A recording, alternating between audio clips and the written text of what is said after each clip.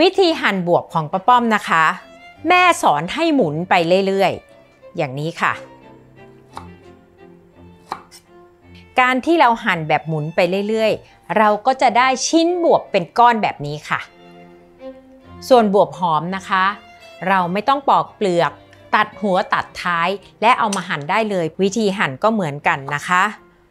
หมุนไปเรื่อยๆ เราก็จะได้ชิ้นบวบออกมาแบบเดียวกันค่ะ